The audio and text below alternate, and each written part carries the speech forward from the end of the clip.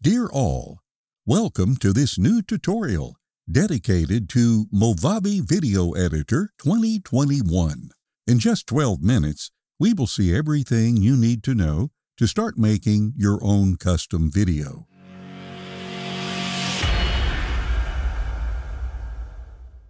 Movavi Video Editor is a great video editing software for both Windows and Mac OS computers, available under a perpetual license. In this video, we will use the Plus version, but the basic features do not change if you use another.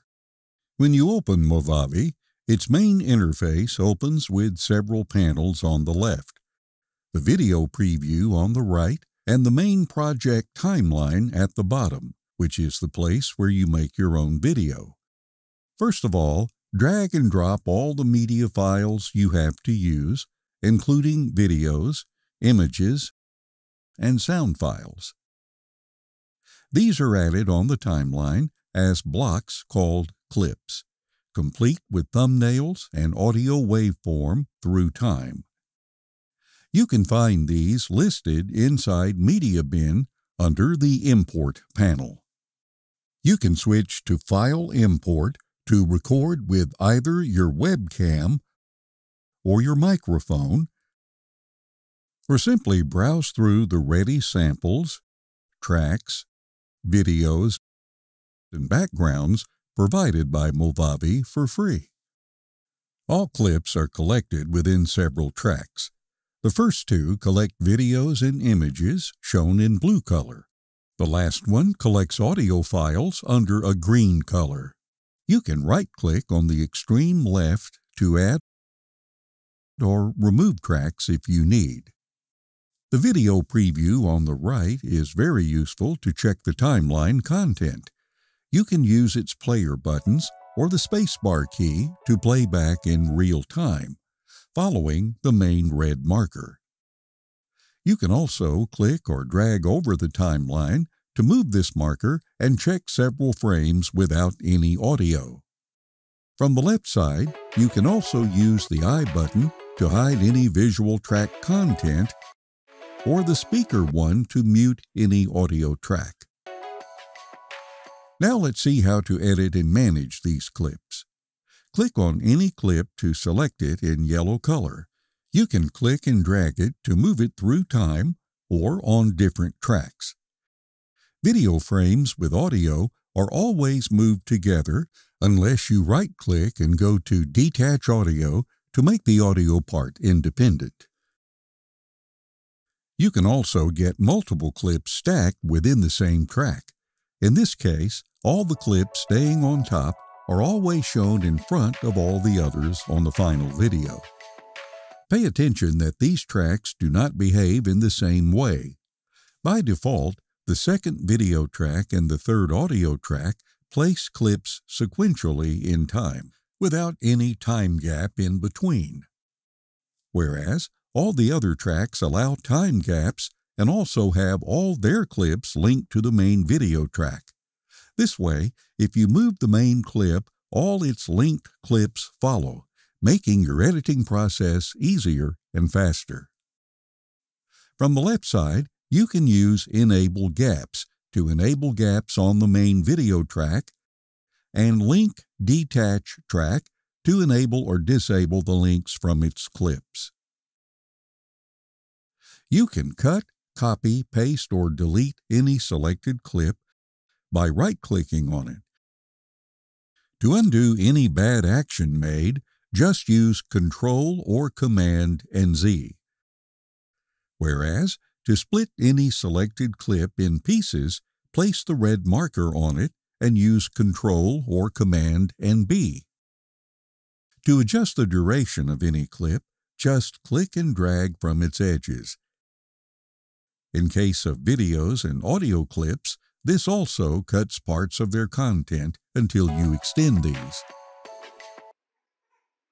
You can also pull up and down the horizontal envelope on audio clips to quickly adjust their volume level. Above the timeline, you can find useful buttons to adjust the appearance and the properties for the selected clip. Use the Rotate button to rotate clockwise by 90 degrees or the Crop button to drag and resize the grid on the preview. Using Apply to confirm. If you make the grid bigger than the clip, you will perform a zoom out and a great picture-in-picture -picture effect. Whereas, if you make it smaller, you will zoom in. Consider that black bars may appear if the clip changes aspect ratio in respect to the standard 16:9. Open Clip Properties to find all the options for the selected clip, such as the volume level or the playback speed, making it shorter, faster, or longer, slower in time. With fade in and fade out, you can apply transitions to the clip changing its transparency and volume level when it starts or ends. Check reverse to playback the clip in the opposite way. You can find other advanced features from the several panels on the left. From the Filters panel, you can browse through loads of filters to apply to videos and images by simply dragging and dropping any over these. These filters can be found inside Clip Properties, Applied Effects, in order. You can adjust strength and remove any by using the cross button on the right. Whereas, inside the Transitions panel, you find several transitions you can drag and drop on the extreme edges of any clip or between two clips. These appear as small blocks that you can replace and resize as you do with clips. The block width also fixes the transition duration and its speed. Right-click on it to remove it or adjust its properties. You can also go to Transition Wizard to apply transitions or pan and zoom effects to multiple clips in one move. Check this out. From the Titles panel, you can find loads of text templates you can import on the main video track or the dedicated title track at the very top. These add pink title clips that you can move and edit as seen already. The title will be visible within its clip duration over a transparent background that becomes black if the clip is placed on the main video track. In addition, you can open the Clip Properties panel to adjust the text content, color, family, distribution, and style, with the possibility to add background or any outline. As this panel remains open, you can also move, scale, and rotate text directly from the preview. Open the Stickers panel to add emojis, animated annotations, and other objects on the title track, over the whole timeline content. Inside More Tools, you get advanced video and audio effects you can apply. For example, you can add color adjustments to videos and images to enhance brightness, contrast, saturation, and color levels by choosing any ready template or correcting all manually under Advanced.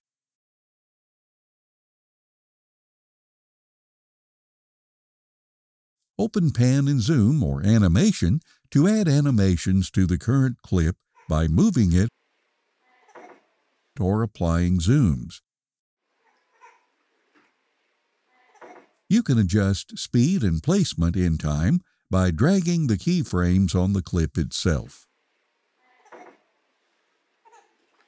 You can also add stabilization to your videos and use highlight and conceal to highlight or blur portions of the clip. Use Chroma Key to pick any color and make it transparent. Very useful if you have green screens. Under audio editing, you can also auto-synchronize sound with videos. Adjust the audio band and gain with equalizer. Remove noise or transform the audio output with great audio effects. If you are ready, click on the Export button on the right. On the left, select the kind of template to use to export the video or just the audio part. You can also pick special templates for smartphones, tablets, or TVs. On the right, define the video name, where to save it, and its quality. You can also click on Advanced to adjust resolution up to 4K, frame rate up to 120 FPS, bitrate, and sample rate.